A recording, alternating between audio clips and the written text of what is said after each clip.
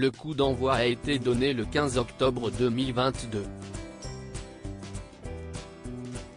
TF1 a diffusé la toute nouvelle saison de la Star Academy.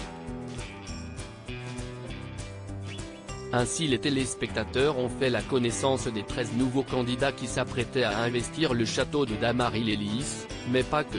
Les nouveaux professeurs ont également été présentés, l'occasion de découvrir Adeline Tounaïnti, en charge des cours de chant.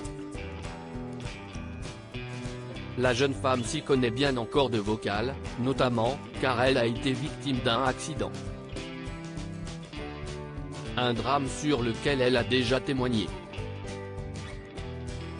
J'étais un jeune espoir du chant lyrique, mais j'ai perdu ma voix dans un accident qui m'a brûlé les cordes vocales.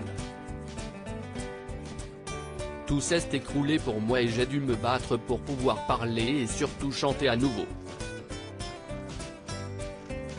Mais ça a fait de moi une vraie spécialiste de la technique vocale.